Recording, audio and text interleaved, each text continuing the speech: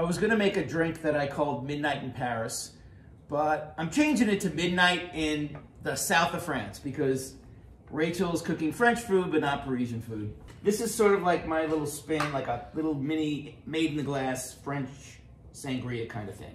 So I've got some vodka, orange juice, freshly squeezed, and I put in, I love this stuff, Saint Germain. It's from France. It's uh, Saint- Elderflowers. It's elderflower liqueur. So it's sweet, but not too sweet. Ooh, I love this. So it's citrus, elderflowers, a little vodka, and it looks like um, some burgundy, a nice French burgundy. Yes, we're gonna get there. Okay. Patience.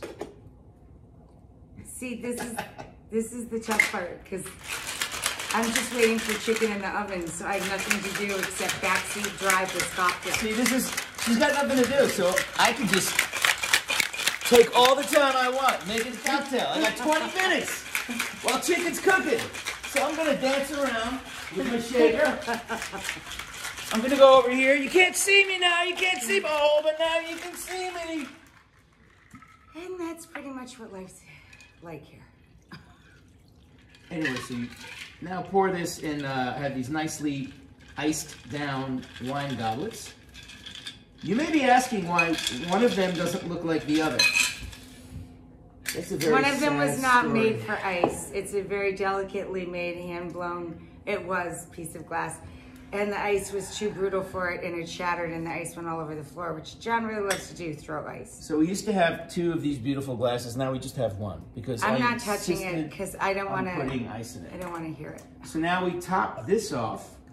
My glass is from Pier One, Le Pier Un. It's a very fancy south of France uh, store. I've heard of it. And mine was given to me by my Auntie Gloria. Um, and she was replacing the ones that we had broken, even of the Pier 1 glasses. Oh, Happy New Year. So we top it with some nice light French red wine, and then top that with club soda. That is gorgeous. It looks like a tequila sunrise. So I am now adding a twist of orange peel, which I simply do, get one of your veggie peelers, get a little bit of that skin off of there, and then once you do, twist it over the top. You know, I think we're being entertaining, but we also have to be instructional. This is very important. People want to know how to make these cocktails. Yes, of course they do. And I'm actually not even going to stir that. It just looks so pretty. I think it's very pretty the way it is. Do you want a straw?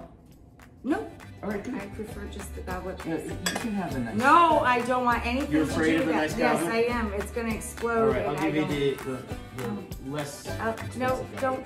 Just, cheers? just your cheers. little tiny cheers. Safe distance. Oh,